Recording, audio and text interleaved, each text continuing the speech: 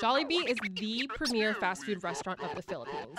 Anytime a new Jollibee opens, people lose their How excited are you that uh, Jollibee's here? How excited are we? That's how excited we are. Oh my god. This line. Just for that. I've written about it, but I've never actually tried the food.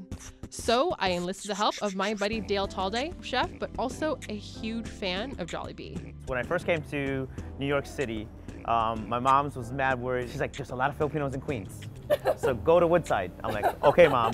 Because it's super diverse borough, but just so happens there's a lot of Filipino people There's- in this neighborhood. Yeah, there's tons of Filipinos here. So tons of Filipinos, tons of Filipino food. Jollibee, which is a huge chain in the Philippines. I've never had it, but people really love it. Here, it's a unique brand. In the Philippines, they're everywhere. You're always longing for what you had back at home when it comes to food, especially. And you know, Jollibee brings people back to that. The Jollibees we're going to here in Woodside, this is the first one in the East Coast.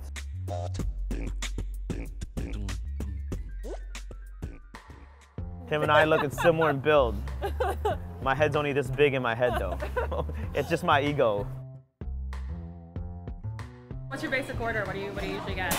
I'm usually like a, a three-piece chicken and rice and gravy guy. There are hot dogs and cheddar cheese in the spaghetti. Sweet tomato is like the. It is our jam here. Tomatoes are more sweet than savory in the Philippines. We're gonna order like everything.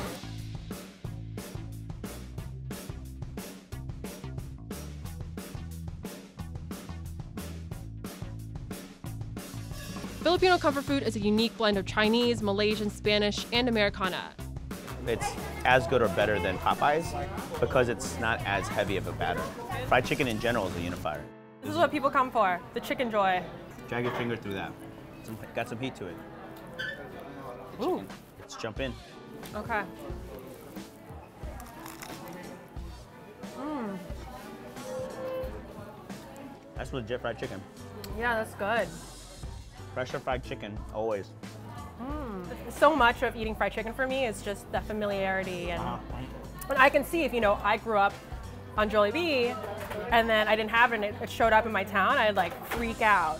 Because it's, they, it's that specific kind of texture and flavor that you can't, you can't get. This is one of the things that my mom like got me up on is fried chicken and rice. The rice is perfect. I always grew up under, like knowing that that was a dope combination. People are like, "What are you eating rice with fried chicken?" I'm like, "Yo, So this is the special. yeah." So it's it's basically a chicken noodle soup. So it's very like Filipino, Very, very Filipino. very very Filipino. These are mung bean threads. So Okay. instead of flour noodles, they're um, mung beans, gluten free.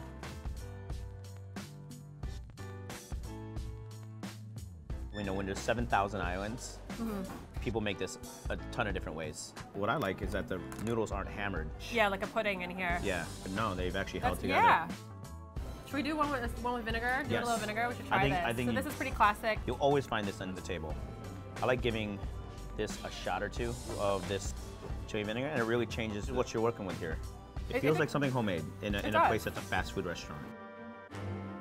I feel like we're doing drugs. and I'm like trying to lead you down this gateway. Do it, do it. Eat the burger. eat the burger. You know what I had corned beef with in my house was for breakfast. You need a lot of with rice and some eggs.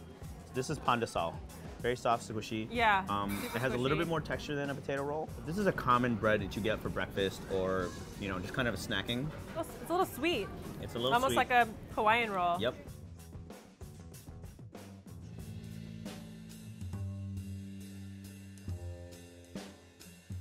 All right, I think we should do these these pastas next.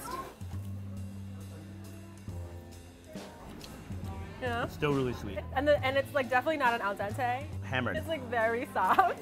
But there's never any al dente noodles in the Asian palate. Even if it's a ramen noodle, it's not al dente where you can still see a little something, Right. you know, in the middle. Right. It's cooked through, but it has a chew to it. And if you go to these noodles, I grew up eating this.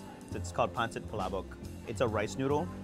The gravy is basically a, a thickened shrimp broth. Um, they have minced pork, so chicharron on top, and then they always garnish with egg, and, and they have some more shrimp on top.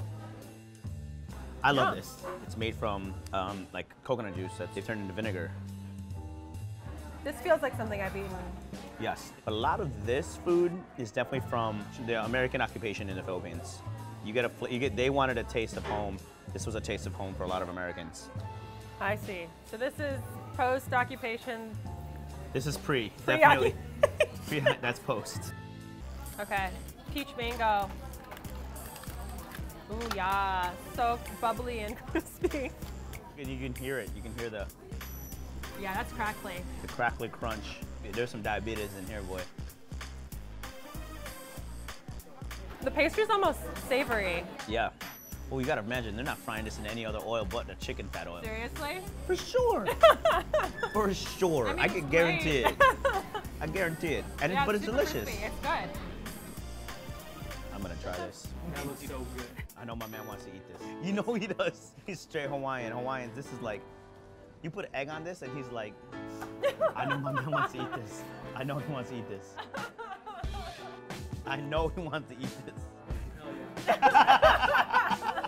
I knew it. I was like, he was staring at it. He was like, yo, my boss won't eat I know, it's, it's all you guys. In this world, in this genre of what this is, fast food, Yeah. it's a good product. Originated from the whole pride of our tonkotsu pork broth ramen being the best. And we want customers to really understand